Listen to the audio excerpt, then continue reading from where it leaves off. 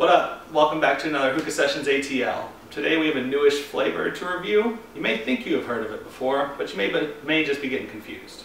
White Bear. Yeah, that's right, White Bear. Not White Gummi Bear, but Starbuzz's newish flavor, White Bear. It's coming from the Starbuzz line. It's eerily similar pineapple flavor, this White Bear. There may remind you of uh, Fumari's White Gummi Bear. Just looking at the front of the tin, we can see pineapples and a little creepy white bear staring back at you.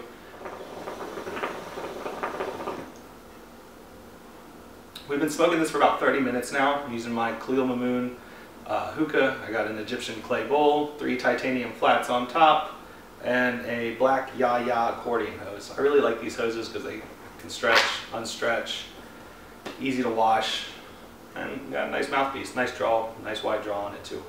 But this flavor seems so familiar. I can't seem to put my finger on it. It's like a pineapple candy. Maybe not a candy, but like a pineapple gummy. Maybe a gummy worm? I don't know. I just I just can't put my finger on it. So I can't give this flavor more than a 7 out of 10. It's not bad, but I'm so used to the white gummi bear that this branding makes me think white gummi bear and with that mindset it just doesn't live up to the Fumari white gummi bear. If you are a Starbuzz fan though you will enjoy this. Even if you're not you'll probably enjoy it just not as much as the white gummi bear. If Fumari is your bread and butter I would sit it out.